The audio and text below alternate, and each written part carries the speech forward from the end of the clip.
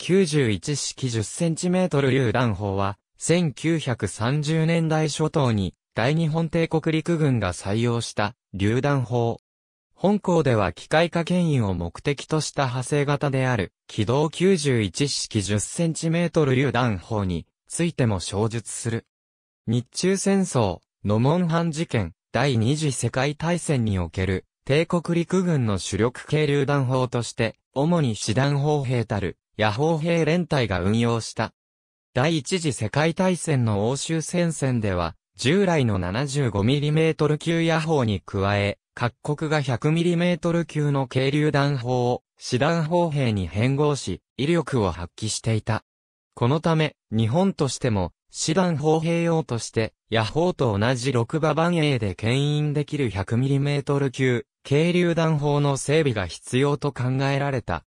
1920年7月20日付の三第398号兵器研究方針によりその新型榴弾砲の使用が決定され、1924年に数十項目に渡る要求仕様をもとに、結果良好であれば300門を購入する条件で、フランスのシュナイダー社に姿勢を依頼した。姿勢法は1930年に完成し、同年末から翌年始にかけて5門がフランスから到着した。待ち焦がれていた陸軍は早速各種試験を実施し、その結果性能は、おおむね良好と認められ、1931年3月には91式 10cm 榴弾砲として、仮正式制定され、条件通りシュナイダー社に300門の完成砲を発注した。その後、1933年3月に正式制定され、国産化された。閉鎖機は通常の水平左遷式で、創薬可変式の分離薬等を用いる。創薬号は、多い順に1号創薬、2号創薬、3号創薬が設けられている。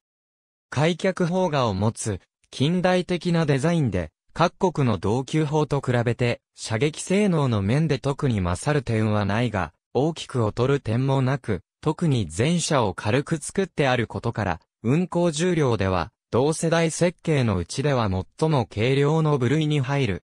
ただ、フランスの設計を全くそのままに採用していたため、当時の日本人兵士の体格にとっては明らかに、過重で、各部が人間工学的配慮に欠けるものとなっていたとする指摘もある。1936年から本格的に部隊配備がなされ、野砲兵の主火器として整備され、特に1940年以降は、野砲、三砲の生産を極度に緊縮して、本砲の生産に努めた。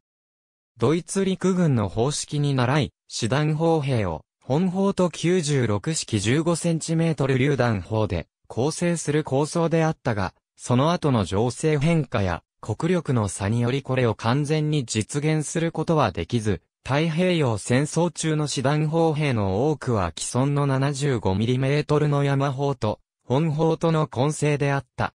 本砲は97式中戦車を車台のベースとする自走砲である一式 10cm 自走砲ホニ2の微砲としても転用された。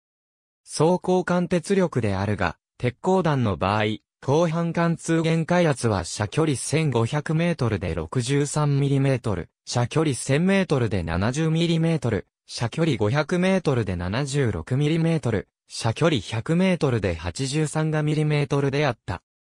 また、1945年8月のアメリカ旧陸軍省の情報資料によれば、露獲した本砲の装甲貫鉄能力の数値は、一式鉄鋼弾を使用し、弾着角90度で命中した場合は射距離750ヤード、2.7イン、500ヤード、2.8イン、250ヤード、2.95インとなっている。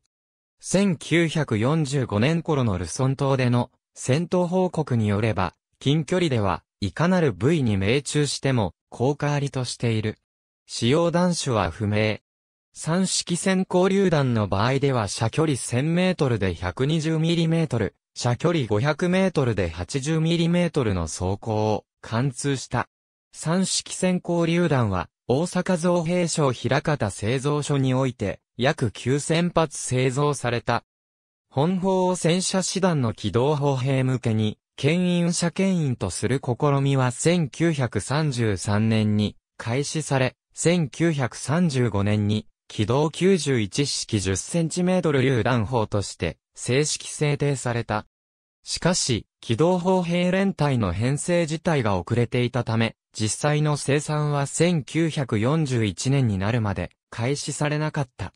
射撃性能の面では、通常の91式 10cm 榴弾砲と変わらないが、自動車牽引用にリーフスプリング式のサスペンションにタンクレスのゴムタイヤを備え、最大牽引速度は時速 40km であった。